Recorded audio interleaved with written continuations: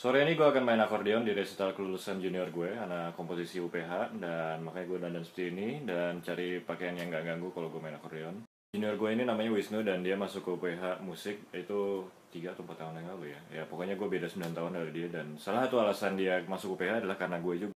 Saat itu kita ngobrol lewat SoundCloud, dan dia nanya-nanya soal belajar musik di UPH. Sebenarnya ada satu orang lagi, yaitu Christian Bong yang pengen masuk UPH gara-gara gue.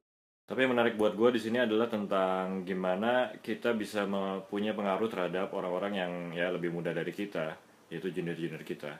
Suka atau nggak suka, pasti semua yang kita pernah lakukan akan menjadi contoh, ya contoh yang baik atau contoh yang buruk untuk bisa ditiru atau nggak ditiru oleh junior-junior di bawah kita. Sama halnya ketika kita ngefans sama ya senior-senior kita, kita akan berusaha untuk meniru mereka atau nggak niru apa yang mereka lakukan yang menurut kita nggak cocok. Sama kan?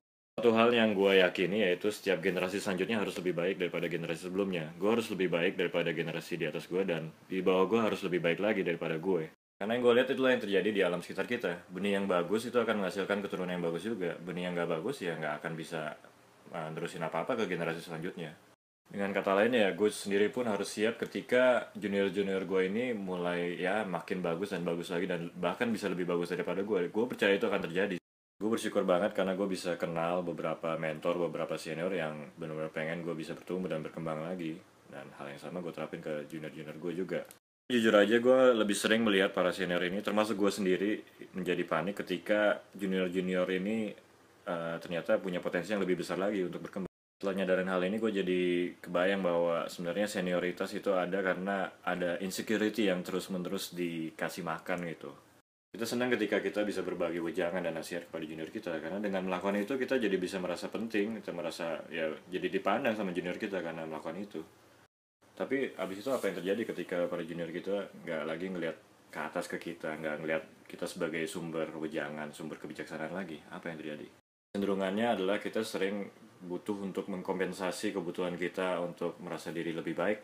Biasanya yang paling sering adalah dengan jelek-jelekin orang lain gue lumayan sering melakukan hal itu tanpa sadar dan setelah gue sadarin ternyata ya gue nggak mau melakukan hal yang lebih baik daripada para para senior gue yang melakukan hal yang sama ya. Kesimpulannya adalah ketika kita butuh untuk jelek-jelekin orang lain supaya kita cuma supaya kita bisa merasa diri lebih baik berarti ada yang salah di dalam diri kita kan?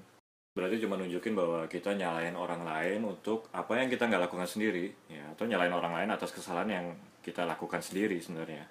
Hal yang kita nggak lakukan itu adalah berkembang kan kita pengen junior-junior kita bisa berkembang. Kita sendiri juga harus menuntut diri untuk bisa berkembang supaya ketika mereka jadi hebat kita nggak minder.